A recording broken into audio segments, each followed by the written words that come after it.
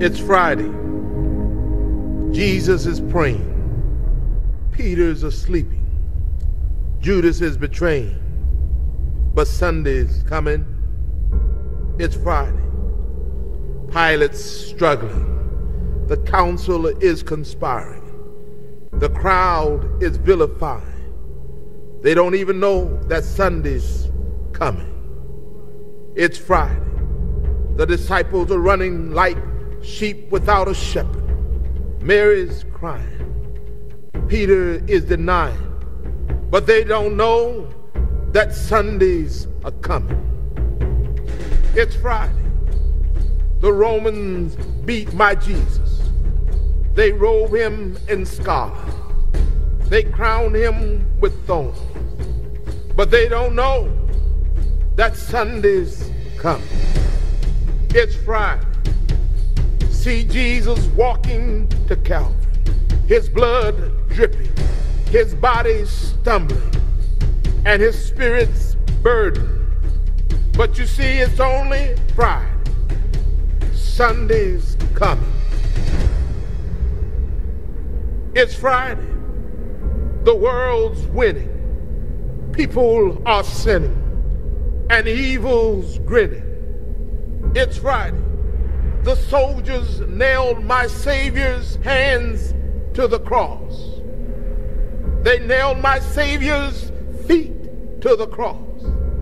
And then they raised him up next to criminals. It's Friday. But let me tell you something Sunday's coming. It's Friday. The disciples are questioning what has happened to their king. And the Pharisees are celebrating that their scheming has been achieved. But they don't know it's only Friday. Sunday's coming. It's Friday. He's hanging on the cross, feeling forsaken by his father, left alone and dying. Can nobody save him? Oh, it's Friday, but Sunday's coming. It's Friday. The earth trembles. The sky grows dark.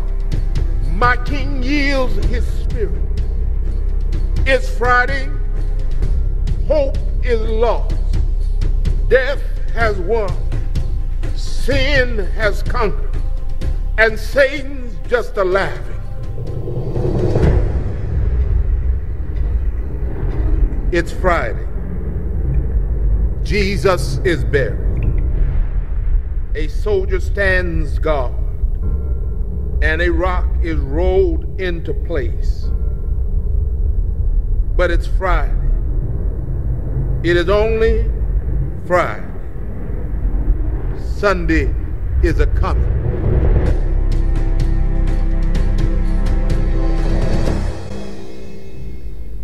Praise God. Sunday's here. Sunday's not just coming anymore. Oh, we can do a little better than that. Sunday's here. It's been Sunday ever since. It's been Sunday ever since. Amen. Amen. We are alive because He's alive. What about Harold on the sax? Wasn't that good?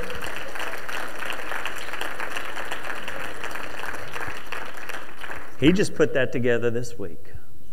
Now, actually, Harold is a, he's what they call a professional musician. Y'all know what those are? We got any professional musicians? Harold, you did awesome, man. That was awesome. You'll, you'll be seeing more of, of Harold. That was good. That was good. I almost didn't want to sing on it and mess it up. But uh, I could tell some of y'all were like, what do we do right now? Do we listen? Do we sing? Do we stand? Do we sit? Or how many were thinking that? Do they want us to stand? It's all right. You can stay seated. Oh, happy Easter, happy Resurrection Day. Jesus is alive. He once was dead. It's confirmed. History itself would, would, would tell us he was, he was dead. He was buried. He was in a tomb, but he's not in that tomb anymore. Jesus is alive and his resurrection meant something. It wasn't, it was, it was an event. It's an event in history, no doubt, but, but it's more than an event. It's an experience that we get to enter into. We get to experience that same resurrection. And, and, and maybe your mind this morning is having difficulty. You know, what does that mean? You know, resurrection, I know Jesus is alive. There's no doubt about that. I believe that. But what does that really have to do for me?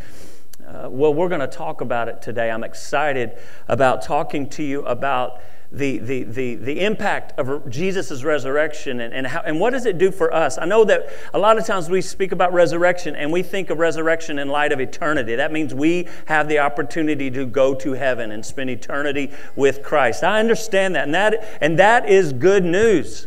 But what about, what about now? What about between here and there? What about life that I've got to live? What, what, what does Jesus' resurrection do for me on my Monday, my Tuesday, and, and, and, my, and my, my every day of, of, of my week and my life? And we're going to talk about that today. If you want to turn in your Bibles to, uh, to, to John chapter 20. And before we do that, I just want to quickly uh, make one more announcement because I'm excited about this. You know, Jesus declared this that he would make his church a house of prayer, that, that the people of God would be a people of prayer. And oftentimes in our busyness, uh, finding time to pray is quite challenging. Would you agree? A lot of times we're praying desperate prayers. We're praying prayers on our, on our way out of trouble, on our way into trouble, on our way into difficulty, and there's nothing wrong with that, okay? The Lord is a deliverer, He is a rescuer, He is a help in, the, in our present time of need but he wants communion. He wants, he wants you to experience who he is in the place of prayer. He wants you to experience the power of prayer. Scripture talks about availing prayer. That's a big word. Avail means, means a lot of things, but, but he says that, that it's the effectual, fervent prayers of, of the righteous that avail much. And, and, and if we're ever going to see the power of prayer, we've got to gather for prayer. And so this Wednesday night, first Wednesday night of every month, we gather for a time of focused praise and prayer. Uh, our last time together last month was powerful. It was nothing short of powerful. So this Wednesday night, we will gather, and, and we're going to be praying this Wednesday night specifically. In the seat back in front of you, you'll see these cards. We call them the prodigal prayer card. There's also another prayer card here where you can list any prayer need that you have, uh, and we will be praying over that need. There will be at least four people praying over that need this Wednesday night. So whatever the need is, Please feel free to fill that card out. You can put your name. You don't have to put your name. You can remain anonymous. It doesn't matter. Just fill that card out, and I promise you, we're going to pray over that need. Every card will be prayed over. They're actually prayed over beyond a first Wednesday, they're prayed over during the week. Uh, and so uh, we will be praying over those. And then also, in addition, starting this Wednesday night, we're going to have a segment where we're going to be praying over prodigal sons and daughters, prodigal friends and family. Do y'all know what that means? That means those who once walked with Christ, who, who for whatever reasons, are no longer with uh, walking with Jesus. They, they are prodigal, okay? And we love them. And that grieves our heart and, we don't want them to stay there. We want them to return. We want them to come back, right? And, and, so we're going to begin calling their name out in prayer, okay? And so you're welcome to fill out the date, the name, uh, anything specific that, that we're, maybe they're battling addiction, uh, maybe they're battling some type of stronghold that is just blocking them, keeping them. Maybe they're battling offense. Maybe they're angry with God, offended with God. You just obviously recognize something that is hindering them, that's keeping them uh, from, that, you know, a wall between them and God. Go ahead and list that out. And then there's a spot there where we get to put the date when they return to the Lord, all right? So we're praying in faith and believing. So we're going to have a big old board up here. We're going to have their name, and we're going to, it's just going to be a really good time. So that happens this Wednesday night. I want to invite you to be here. Uh, I understand a lot of us come in right after work. Some of us are wearing our work clothes. Some of us still smell like work, all right? Uh, you might grab McDonald's on the way unless you are weird and eat healthy and you get a tossed salad. Chick fil A has a good tossed salad. All right. Grab a salad, bring your supper, whatever you got to do, just get here. We start at 6:30. We are out by 8, all right? We want to be mindful of the time and get you out of here. So, that is this Wednesday night. Are you in John chapter 20? And the church said, Sorry, it ain't in me. I, I wish it was. I wish I wish I had a little TD Jakes in me, but uh, it it just it just ain't there yet. All right, modern secularism, or or just society in general. Do, are you, are you aware that we're pretty much living in a post-Christian society? I know we got in God we trust on our dollar and little things like that, but uh, that's not really true. So we live in a society that, that we are called to love. We're called to be in the world, but not of the world. And, and it's in that world that this world has, a, has a quite, a, quite a few thoughts concerning this resurrected king that we just sang about. Modern society says that Jesus raising from the dead on the third day is perhaps the greatest scandal of all time. These are actual quotes. Some say that the resurrection is not literal, but best, at best figurative. In other words, it didn't happen, but it helps people to live better when they believe that it did. They teach that no one in their right mind would fall into the trap of believing in an empty tomb or a risen body. I get it. I get it. The whole idea of someone raising from the dead, it is indeed impossible, right? It's impossible with man, though. It's impossible with man. It's possible with God. Rudolf Bultmann, a German, all right?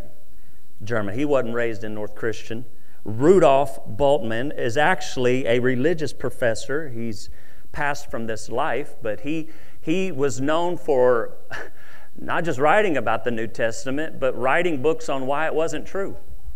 He was a religious professor, and he said this Bodies do not rise from the dead.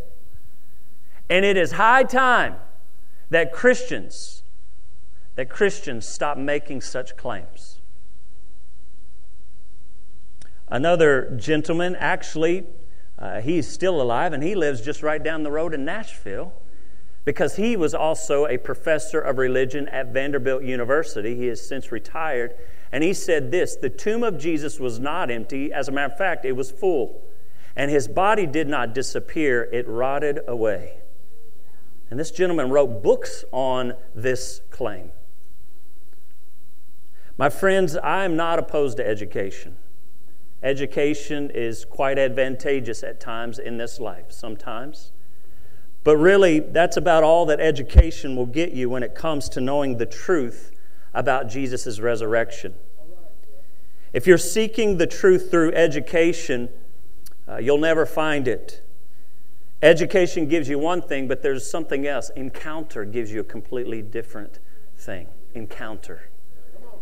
Uh, there was, there was a, a, gentleman that was very, very educated, uh, very, very, just, just a, a, a mastermind when it came to philosophy and disciplines concerning education. But as much as he was educated, he experienced an encounter with Jesus. His name was Saul. We've come to know him as Paul. Paul had an encounter with Jesus. And this is what he said about Jesus. Jesus, uh, excuse me, Paul wrote a few books too. and this is what he said in his book. I pass on to you what was most important and what had also been passed on to me. What he's talking about is I received something from God. I received not education, but revelation. And this revelation did something to me. God told me something and it caused me to know something, and that knowing something has forever changed my life, and I'm giving it to you. He says this Christ died for our sins. He was dead and he died for a purpose on purpose. He died for our sins.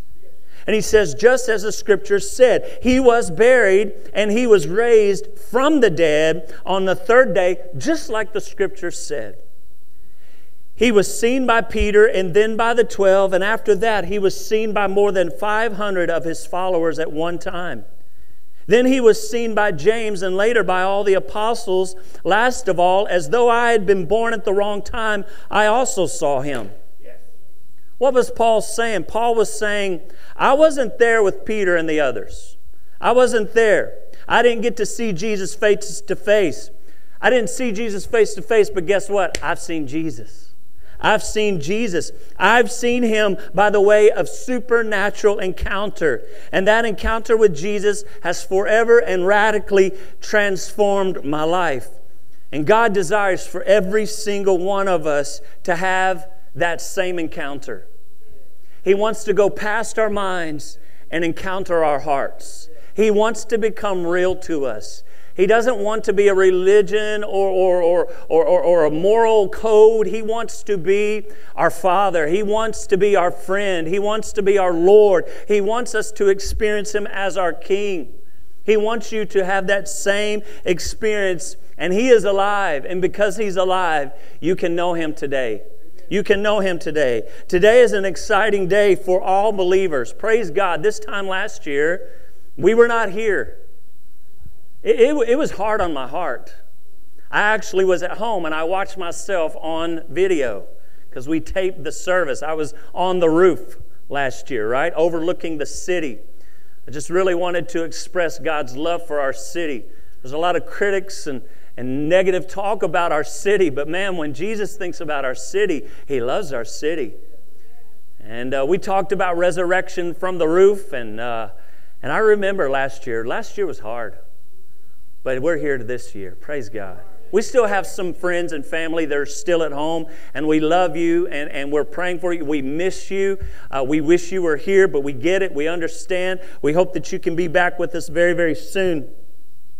Today is an exciting day for believers all across the world. I was checking out different uh, Good Friday services and Easter services, and just uh, it was just exciting to see the church assembled all across the world. If you get on YouTube, you can actually catch services all the way over in Australia.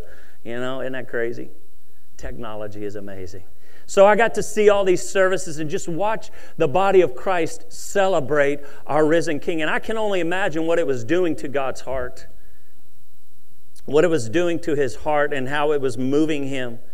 But I want you to know as we celebrate uh, the victory over the enemy of our soul, over death, uh, Hebrews 2:14 tells us that though Jesus is dead, Jesus was destroyed, and he destroyed the power of death. He destroyed the power of death, scripture says. Sorry, my, there we go. Though Jesus was dead, Jesus has destroyed the power of the devil who had power of death over us. I, we, we, we talk about it a lot here Restoration House. Death, no doubt, is an event. The, the reality is, Scripture's told us, and we all know this simply because we've experienced, we're all going to die. Die is, death is a fact, it is a reality. We will all die, but we won't all die. We'll all have funerals unless we uh, meet Jesus in the rapture. Uh, we're, gonna, we're going to be buried one day. We're going to pass from this life into eternity, but we'll not all die. Because death has been defeated. Uh, there's the event called death, but there's something else. There's the, the spirit of death, the spirit of destruction and decay, the spirit of discouragement, the spirit of depression. All of that is the spirit of death. We know death is an event, but death is really a state of being. Some people live dead. Some people are breathing, but they're not alive. They're living lifeless. They don't have hope. They don't have joy. They don't have peace. They don't have purpose. They live outside of God's presence. They don't feel the safety and the warmth and the comfort uh, uh of God's presence, the leadership of His presence. They live outside of His promises. They live outside of His provision. They live outside of His power. Everything that they are doing in life is, is, is, is, is apart from God. They're on their own. They're on their own. That's death. But Paul says death has been defeated. What is Paul saying? He's saying you don't have to live there. You don't have to live life like that. That, that was never God's intent. That was never God's desire. Jesus said that He came to bring the opposite of death. Jesus said that I've come that you would have life, not breath, life. Life. Not oxygen, life. Eternal life. That you would have life and have it more abundantly. Do you know that life? Be honest with yourself. Do you are you living that life? Are you living that abundant life today? God knew that you would be here today. This is ordained of God. You may have come at the invitation of someone else.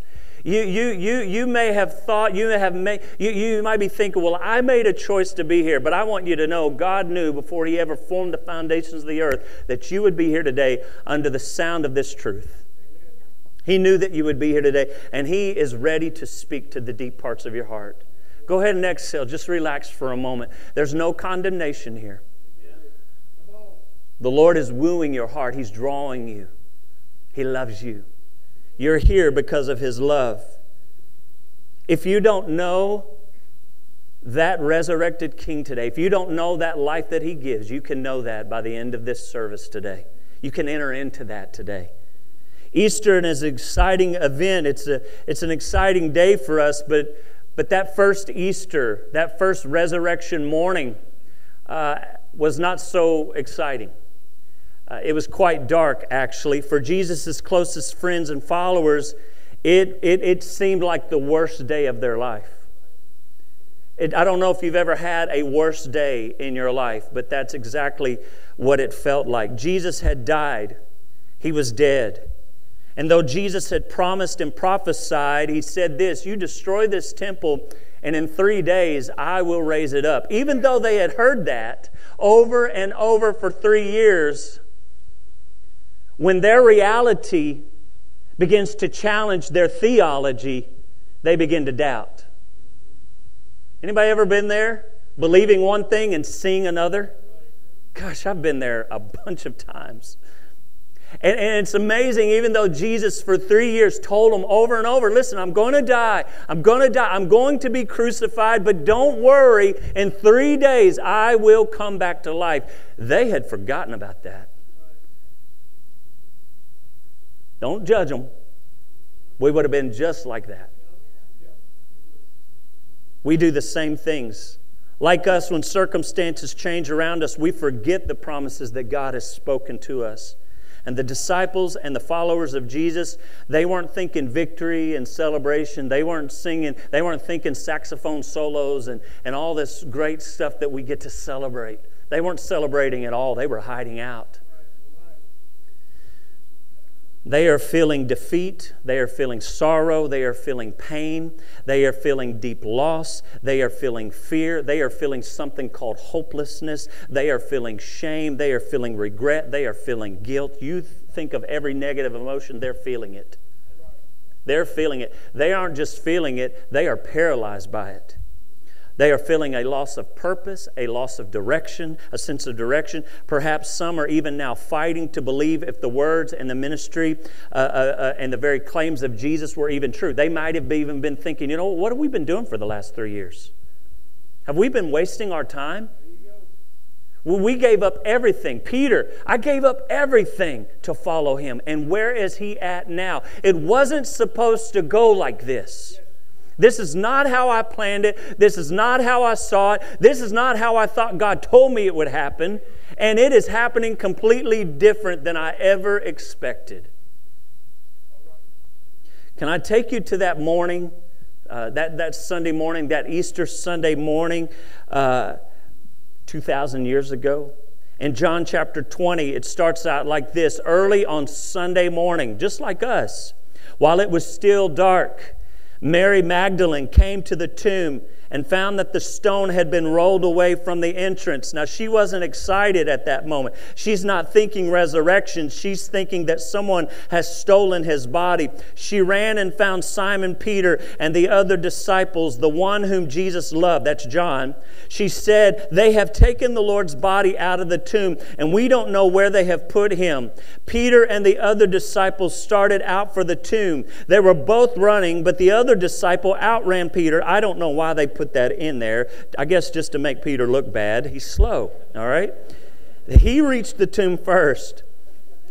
He stooped and looked in and saw the linen wrappings lying there, but he didn't go in. Then Simon Peter arrived and went inside.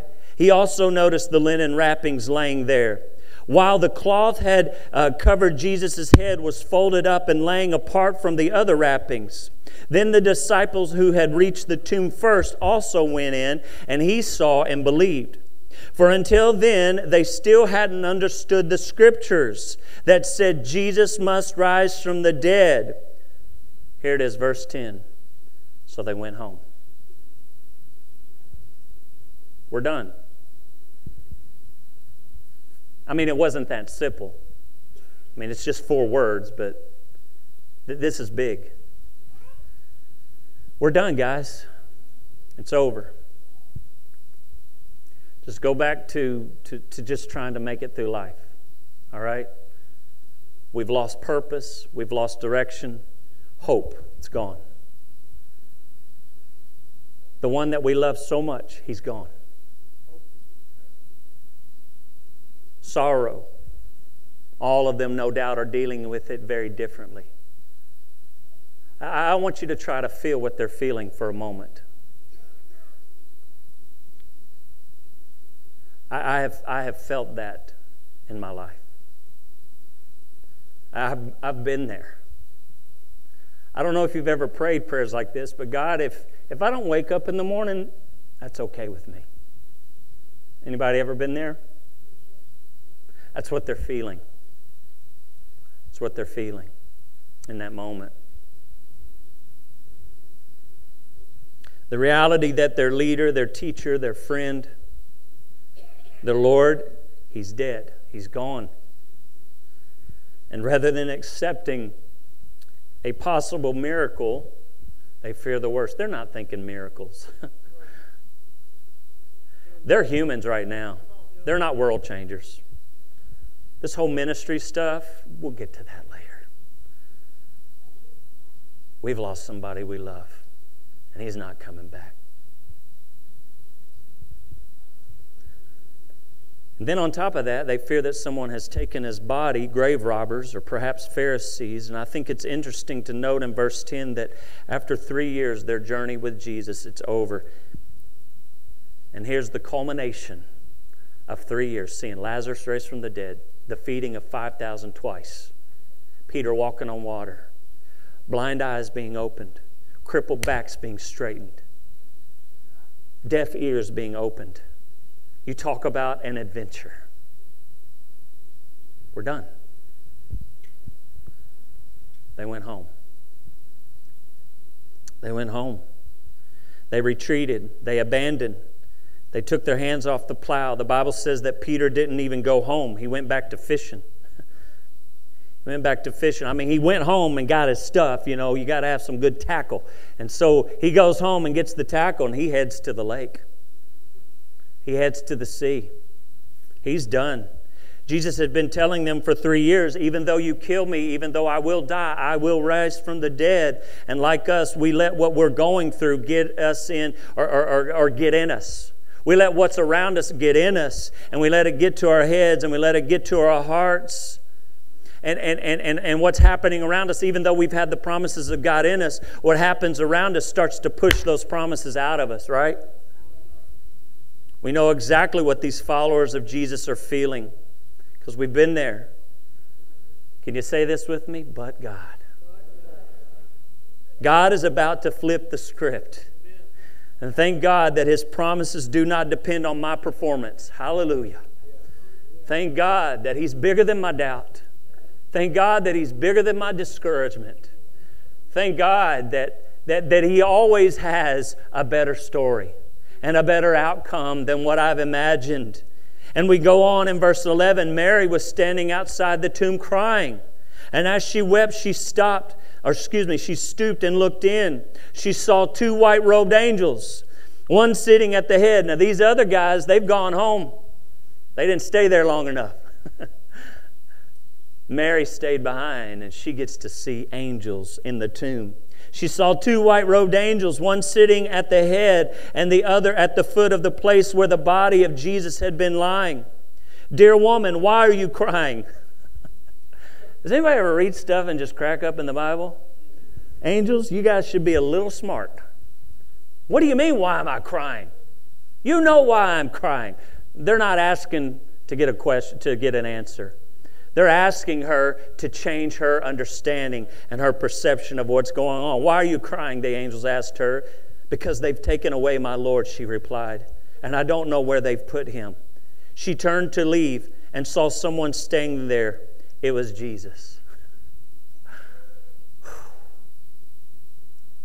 Sorry, this moment's for me.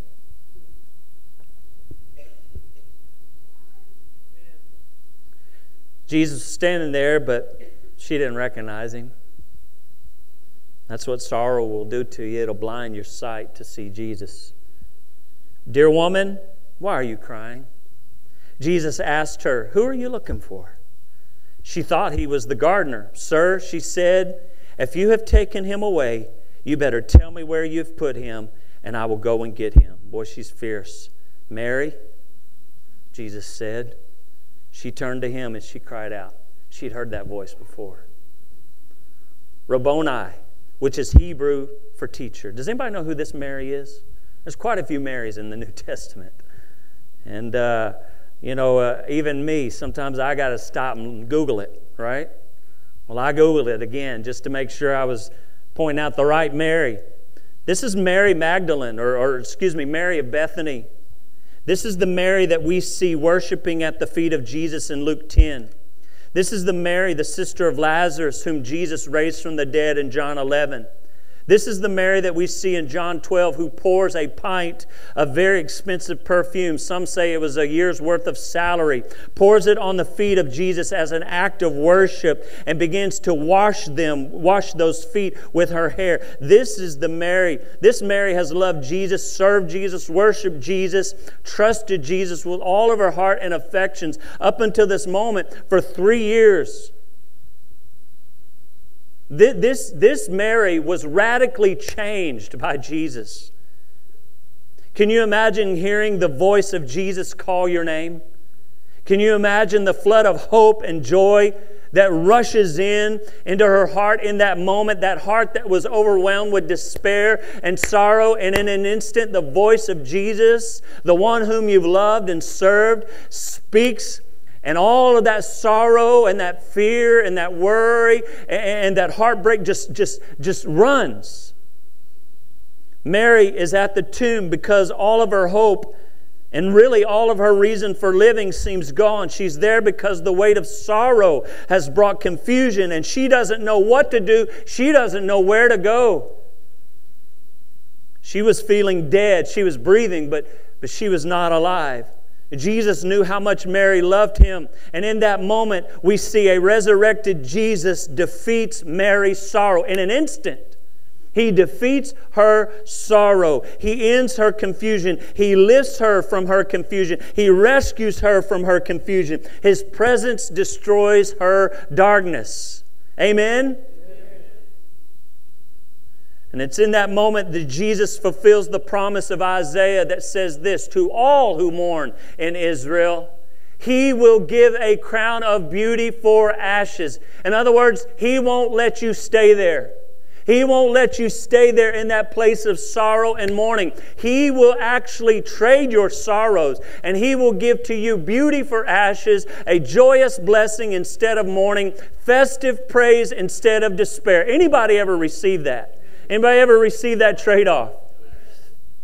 That's his promise. And God keeps his promise. And that promise is for every single one of us here today. Jesus comforts Mary, and then he turns to her and he says, This, I need you to go find my brothers and tell them something. Tell them I'm ascending to my Father and your Father, to my God and your God. Mary Magdalene found the disciples and told them, I have seen the Lord. Then she gave them this message. This is what she says. That Sunday evening, the disciples were meeting behind locked doors because they were afraid. They're afraid and they are hiding out. Does anybody know what's going through their minds? They think they're next. They just crucified Jesus. It, it just makes sense that, that they're going to find his followers next. Jesus caused so much trouble for the Pharisees that, that, that they're not done yet. They've got to get rid of his posse. They've got to get rid of the troublemakers. And so they are hiding out. They were afraid of the Jewish leaders. And guess what? Suddenly, Jesus was standing there among them. And what did he say? I love Jesus' first words. See, first words matter. And what does he say? He says, Peace. Peace. See, the opposite of fear is not faith, it's peace. He speaks to him, Peace. Peace be with you. Guess what? Peace is with them. Peace is in the room. Peace is personified in Jesus. Peace be with you, he said. As he spoke, he showed them the wounds in his hands and his side, and they were filled with joy. Man, just in an instant. They go from fear and worry and sorrow. Jesus steps in the room. Just one moment in the presence of Jesus changes everything. And the Bible says that they were filled with joy as they saw the Lord. Our resurrected Jesus defeats Mary's sorrow, and here we see our resurrected Jesus. He defeats the disciples' fear. Fear. I don't know if you've ever experienced the spirit of fear. The Bible calls fear not an emotion, even though we know it as an emotion. Fear is a spirit. Spirit. It is a spiritual uh, being, beings that work to, to, to imprison you and, and control you by way of fear. Anyone ever been held hostage by fear? I have. I have. The fear of the unknown, the fear of losing, the fear of failing, the fear of rejection, the fear of not having enough, the fear of being overlooked, the fear of being accused. Honestly, the list of possible fears goes on and on and on and on. Fear drives out peace. It strips us of joy and laughter. Fear paralyzes. Fear robs us and then it enslaves us. That's what the disciples are feeling. And Jesus responds with what? Peace be with you. I know without a doubt there are some here today, that's exactly what you need. You may not be able to articulate your need, but I'm telling you right now, it is the peace of God that surpasses your understanding that you are in great need of today. You are in a war. Oh, you're getting up every day, you're getting through your day, but you're in a war. Jesus didn't speak it, He gave it. He didn't just speak peace, He gives peace. Peace be with you. His presence brings His peace. Amen? Because Jesus lives, you can come today and you can have His peace because you can experience His presence. That same resurrected Jesus that shatters the fear of the disciples in John 20 is the same resurrected Jesus that is alive today and will shatter your fears.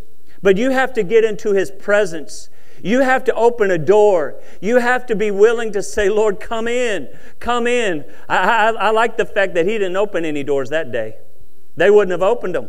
That's how, that's how paralyzing, that's how strong fear was in their life. Even if someone would have knocked on the door, they wouldn't have opened it. So Jesus says, I ain't waiting for a door to get open. He just suddenly appears. Not only were the disciples hiding in fear, they had taken their eyes off their purpose. They had forgotten about the call upon their life. For three years, Jesus had been training them, equipping them, teaching them to be world changers, and in that moment, the world was changing them. They were not world changers. What was happening in their world had changed them and had caused them to run and hide. Some of you here today, that's where you're at. You're hiding from your purpose. Words, prophetic words, words of knowledge have been spoken over you. Prayers have been prayed over you. You know deep in your heart there's a call upon your life. You know that you've been set apart for the work of God, and you're not living it. For whatever reasons, you're not living it. And that's exactly where these, these disciples were. They said, We're done. Don't call us disciples anymore. We're just regular old guys now. Look at what the resurrected Jesus does starting in verse 21. Again, he said, Peace be with you. He says it a second time. Peace be with you. As the Father has sent me, and I like the fact he don't sit down and have a discussion. He doesn't do any counseling. Jesus doesn't stop and say, Well, guys, tell me about what you're feeling. No, he doesn't even address that. I mean, he addresses it. He addresses it by declaring his word and his promise, Peace be with you. And he says, Just like the Father sent me, guess what, guys? Get your eyes back on your purpose. I am sending you. I am sending you. I'm sending you back into the world. Then he breathed on them and said, Receive the Holy Spirit. If you forgive anyone's sins, they are forgiven. If you do not forgive them, they are not forgiven. Jesus doesn't even have a discussion about their retreat or, or, or their retreat into what we're going to call purposelessness. He doesn't even take time to talk about it. He knows what's going on. He doesn't even give, them time to explain themselves. He just looks at them and he points them back into the world that they've just ran from and says, Listen, guys, get out of this room. You're going back into the world that I've been training you to love and lead for the last three years. Get your eyes back on your purpose. It's not time to go back to fishing. It's not time to go back to your old way, your former life. As the Father has sent me, I am sending you. And it's here that we see a resurrected Jesus. He defeats the disciples' purposelessness. He defeats that, that, that, that, that life of mere existence. You were made for more than a paycheck on Friday. You are made for more than just a weekend and mowing yards. You are made for more than just having babies and raising those sweet little pretty cute things. You are made for more than retirement. You were made for more than an annual three week vacation. You were made for more than paying bills. You have purpose. You have reason. When you were in your mother's womb, the Lord knew you. The very fact that you are alive today is ordained of God. You could have been one of the aborted ones. You could have been gone early. Those accidents that He protected you from, that near death experience, that, that COVID 19 that should have taken your life. You have purpose. You have, you have a calling. Every single one of you have calling and purpose. Don't take your eyes off of that purpose. Listen, it is time. No, Scripture says in the King James, it's high time. It's high time. What does that mean? That means you ain't got no more time to waste. It is time now to say yes to the calling and the purposes of God. The resurrection declares that you have eternal purpose. God has something for you. And yes, it is bigger than you. And yes, it's scary. That's what makes it God. If God handed you something that you could do, you wouldn't need God to get it done. So the purpose of God is bigger than you. No, you don't have what it takes. You don't have the money to do it. You don't have the wisdom to do it. It's a setup by God. God is setting you up to need Him to accomplish everything He's called you to do. So stop doing self inventory when it comes to saying yes to the purposes of God. God will never call you to do what you can do, He'll call you to do what you can't do so that you need Him to get it done. It will be difficult because it's going to require faith. And there will be challenges along the way because it needs to be born and birthed and, and facilitated by prayer. We have a way, I don't know about y'all, but when things are going good for me, I forget to pray. Does anybody else deal with that? Whew, good, I'm glad I'm. No, y'all are weird.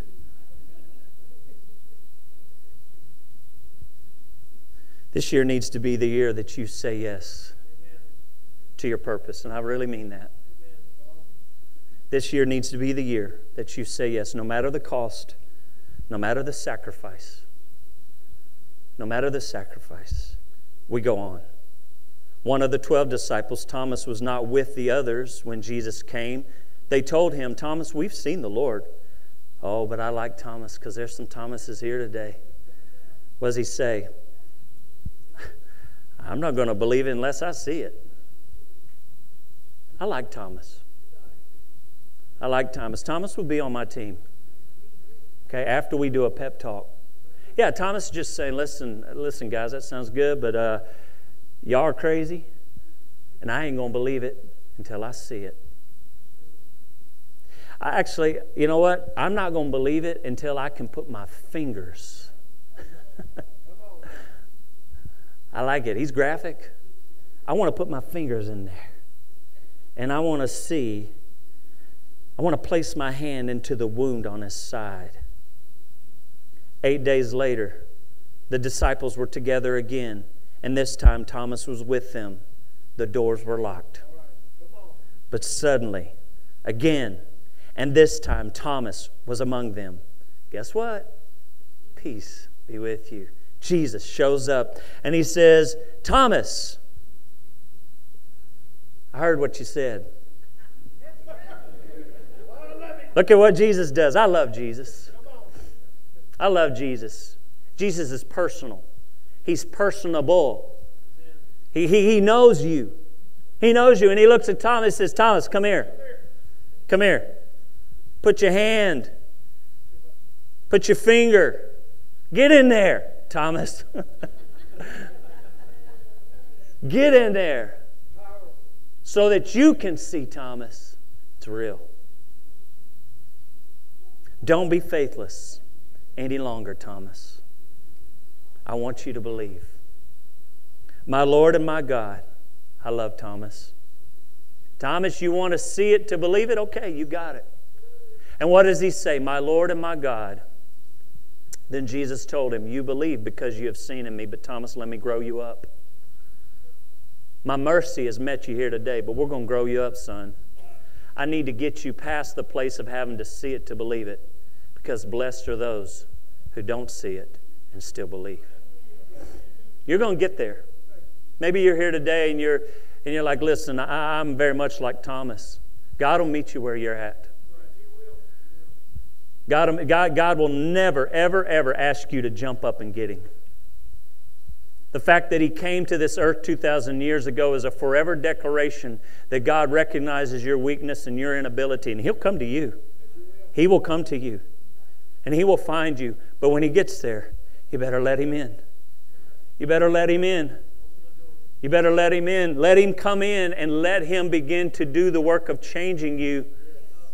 Thomas, blessed are you when you've come to that place to where you can believe and you don't have to see it. That's called what? Faith. Thomas, you needed proof. I'll give it to you. But Thomas, I'm growing you up to have faith. I won't believe it until I see it. I've been there. Ever wanted to believe, but you couldn't because you couldn't see it?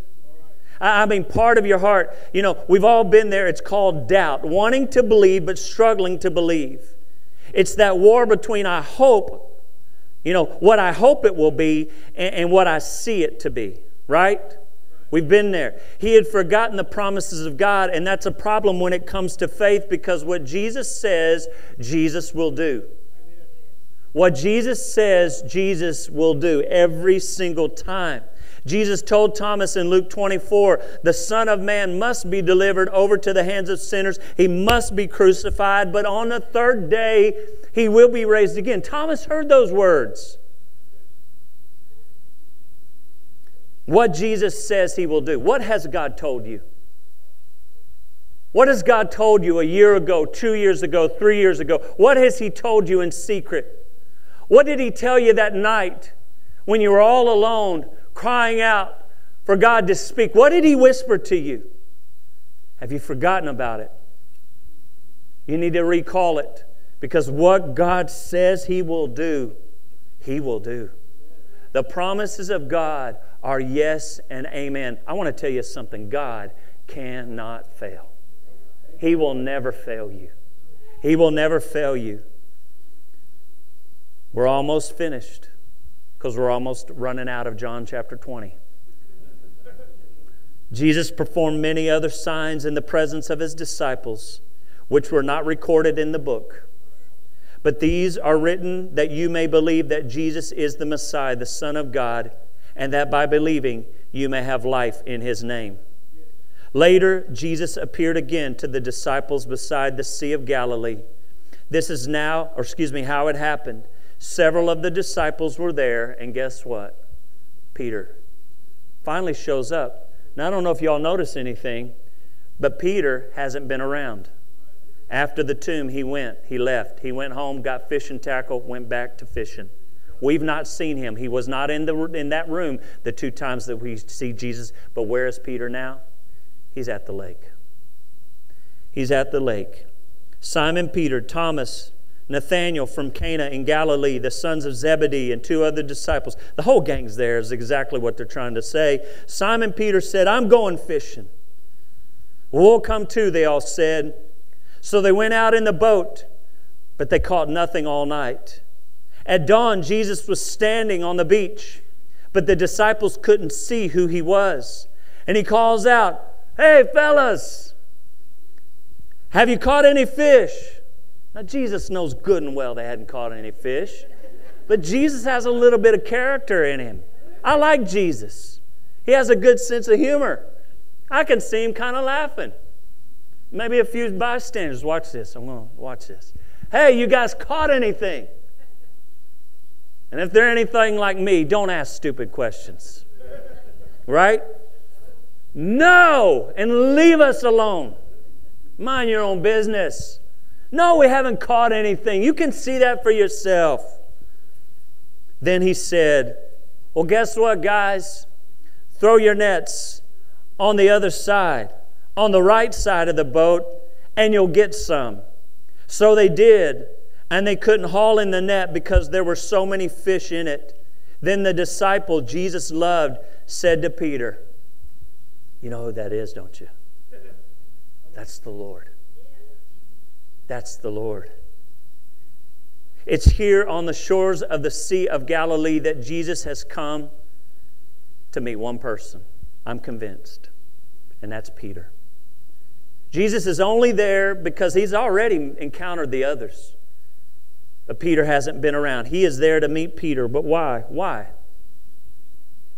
First, where has Peter been? He's been nowhere. We haven't seen him. You have to go all the way back to John 10, chapter or verse 20 to see where Jesus, excuse me, Peter has been. He's been at home. Peter, like the rest of the disciples or the followers of Jesus, is dealing with sorrow. He's dealing with fear. He's dealing with purposeless. He's dealing with uh, doubt. But Peter, unlike the others, is dealing with something that the others are not dealing with. And this is where some of you all are here today dealing with. He's dealing with shame. I did something a long time ago that I can't undo. I didn't do it unknowingly, I did it knowingly.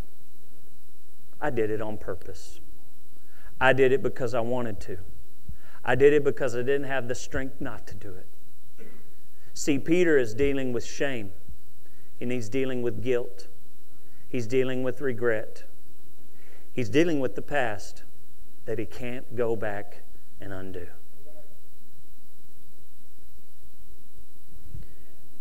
I don't know if you know it, but Peter's last words to Jesus are pretty significant.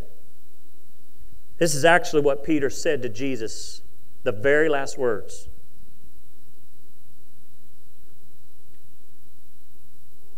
He says to Jesus, they're all at supper, and Jesus is getting ready to be crucified. He's about to be betrayed. It's, it's that whole passion of the Christ moment where he's getting ready to, to, to be betrayed by the kiss of Jesus. And then, you know, it's the Garden of Gethsemane and all of those moments.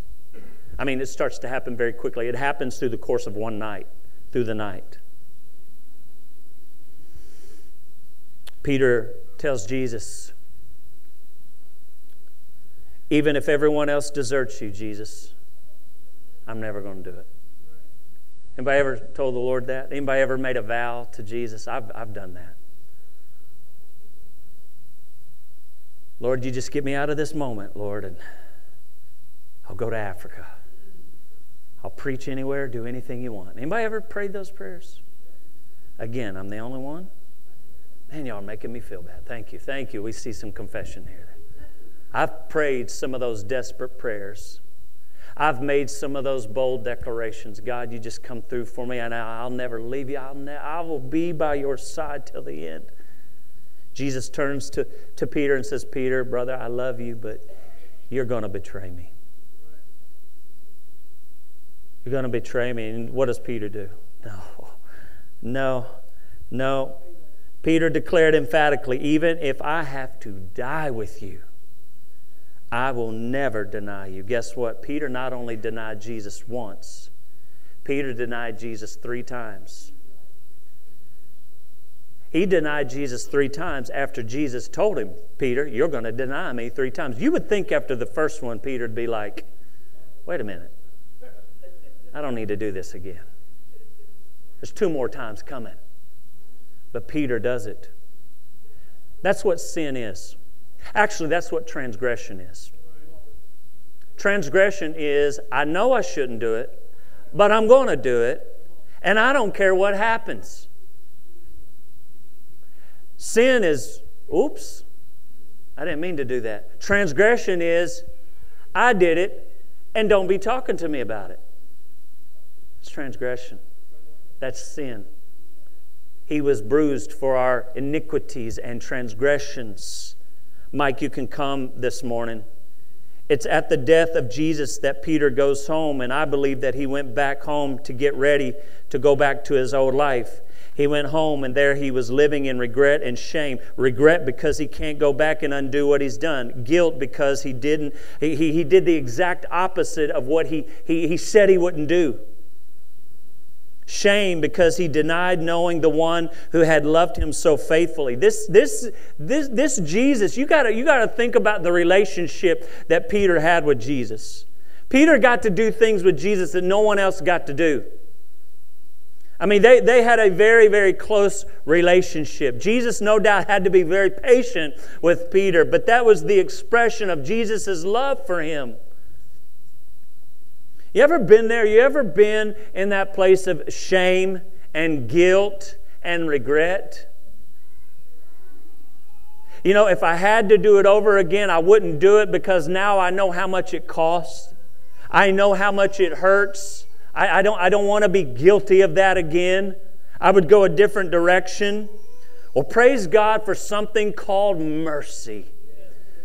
Mercy. Mercy. I think we know about grace, but we don't talk enough about the mercy of God. The mercy of God. God, you should, you should pretty much destroy me right now, but you're not going to the mercy of God. God doesn't get offended. God doesn't walk away. Thank you, Jesus. Thank you, God, that He doesn't get offended. He loves and He pursues us in our failures. He pursues us in our mistakes. He finds us in the prisons of our regret, our guilt, and our shame. And He comes in and He liberates us. That's why He has come to the Sea of Galilee. That's why he's at the Sea of Galilee. And from the shore in verse 6, he calls out to Peter, Throw your net on the right side of the boat and you'll catch some fish. John 21 6. Now, I don't know if you know your Bible, but this ain't the first time that Peter has heard these words. This is the second time that he's heard the words, Throw your nets on the other side. What you have to remember is that, that, that, that, that Peter has heard these words before three years ago.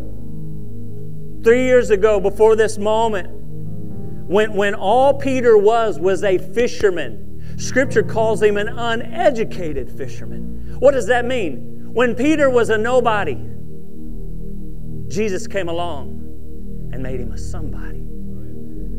Before he had met Jesus for the first time, he had heard these words for the first time. It's these same words three years ago that ended up being the very words that forever changed Peter's life. It's these words that brought him into an exciting relationship and life with Jesus. It's these words, the words that called to him to be the very thing that he no longer felt he could be. What? A disciple of Jesus. Peter's done being a disciple of Jesus. Why? I've blown it. I've blown it. I, I, I'm not worthy of this. I've done too much. I can't undo what I've done. I have to go back to being a fisherman. Man, that's what shame will do to you. Shame will convince you that God doesn't want you anymore. That's such a lie. Such a lie. I don't care what you've done. I don't care how many times you did it. I don't care who you did it with and when you did it. God still wants you. You're thinking, Brad, come on, man. You really don't know what I've done. Listen, you name it. The, love, the blood of Jesus covers it. The forgiveness of God forgives it. It doesn't matter. You say, if He would just forgive me, I would come right back into relationship. If He would just forgive me, listen, I'm here to tell you, He's ready. He's ready. When I think about the prodigal sons and daughters, I think about all those that have bought into the lie of the enemy of their soul, Satan. And it's not the voice of God that they're hearing, it's the voice of the enemy that has convinced them that you can't go back home. We're going to be praying for them this Sunday night. I believe this is the year that you're going to see prodigal sons and daughters come home. John looks at Peter and he tells Peter, Peter, Peter, it's the Lord. It's the Lord. I'm convinced that, Peter, that, that, that John didn't have to tell Peter. Peter knew who that was. Peter knew in an instant who that was. The Bible tells us that when Simon Peter heard that it was the Lord, watch this. He put on his tunic, for he had stripped for work. He jumped into the water and he swam to the shore. He headed to the shore. Immediately, without hesitation, Peter jumps out of the boat and begins to swim. Guess what? He can't walk on water this time, but he sure can swim this time. He's made some mistakes. He's failed. His faith isn't as sharp as it was. I believe he was even telling himself, I believe it even went through his mind. Listen, the last time Jesus told me to come to him, I walked on the water. I can't do it this time. I've taken a fall. I've tripped. I've done some things that I can't undo. But listen, I'm going to get to him any way I can, even if I have to swim to him. It's in that moment that our resurrected Jesus, he completely destroys, completely destroys Peter's regret and his guilt and his shame. Do you remember when Jesus did that for you? Do you remember when he when he lifted when he lifted when he when he opened the door to that prison called shame and regret and guilt? Do you remember when he set you free? That's what we're singing about today. That's listen. I, I I'm grateful that I get to spend eternity not in hell and with Christ forever. But listen, I can't wrap my mind around that if I'm going through hell on earth. It's hard to think about heaven if every day getting up is, is, is something that I dread. And there's some of you here today that, that, that you dread what, what the next day holds. And God has not called you to live like that. That is not what sons and daughters of God, that is not your inheritance. That's not where God's called you to live. That is not the will of God for you. The Lord wants to lift you out of that place of sorrow, out of that place of, of, of purposelessness. He wants to lift you out of that place of doubt. He wants to lift you out of that place of fear. He wants to lift you out of that place of regret, guilt, and shame. Only a God a loving God. Only a resurrected Savior can do that for you today. Psalm 85, or excuse me, 86 says this For you, O Lord our God, you are ready to forgive. Say that with me. You are ready to forgive. Say it again. You are ready to forgive. Abundant in mercy to all who call upon you. In just a minute, we're all going to call on the name of the Lord. We're all going to call on the name of the Lord. I don't know about you, but I need a refresher. I need a refresher. I want my heart to be reminded again of the mercy of God and how He has set me free. Listen, you don't know me like I know me. I, I can't point back to addiction, but you know what? I know where I would be if it wasn't for Jesus. I don't know why He saved me at an early age, but I'm so grateful that He has. And you may be here and you may be in what we call the old age but it's never too late. It's never too late. Jeremiah 31 says, I will forgive their sin and their iniquity and their sin. I will remember it no more. Oh, you got to get a hold of that. Do you know something about God? God don't forget nothing. Why? Because He's omniscient. He knows everything. He knows the end from the beginning. So, how can a God that knows everything forget something? Because He chooses to.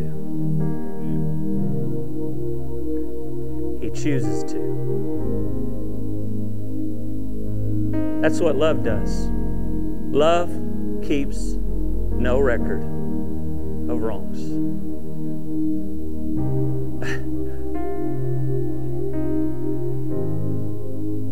That, that's why he deserves your whole life.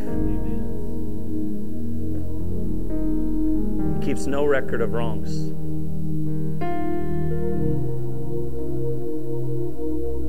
That's what that empty tomb provides for you today. I love Easter.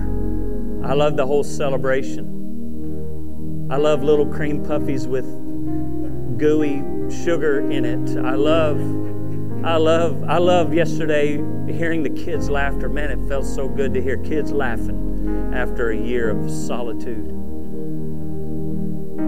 I love Easter. I love the beautiful weather. I love that you're here. I believe even next year is going to be an even more explosive, bigger Easter. I love that you're here. I love this celebration. But listen, that's all it is. If we don't get a hold if we don't encounter this resurrected Jesus, if we don't let resurrection power come in and drive out everything that speaks of and hints of death. You may have come in these doors. You, some of you, I, I even sense some of you came in here and you even said, listen, if they have an altar call, I'm not going up. You don't have to raise your hand, but I already know you're here. I can sense you And